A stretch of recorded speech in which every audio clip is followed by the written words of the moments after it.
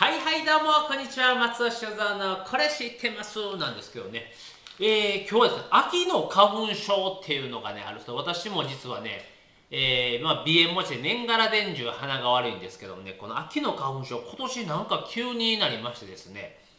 えっ、ー、と家がの前が公園なんですけどねドア、まあ、窓を開けてますとなんかこう鼻がムズムズするから目が今回かいんですね。で調べてましたらですねやっぱ秋の花粉症いうのがよくあるんですね。あの道端や川沿いに生えている豚草それからヨモギなどのキク科の雑草がですね、まあ、今年あの8月から、えー、日本の花粉が飛び始めて、まあ、9月中旬にピークを迎え10月まで、えー、続くということがございましてね、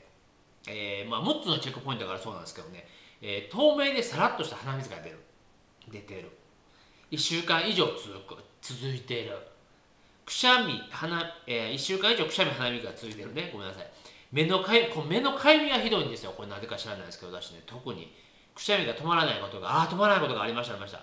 熱があっても微熱程度で根絶は出ない、えー、晴れた日により強く症状が出るということでね、えー、秋の花粉症ということでね気をつけてくださいね。花粉症も一年中いろんなハウスダストもね花粉症だったりしますしね気をつけて松尾首藤のこれ知ってますでした。ありがとうございます。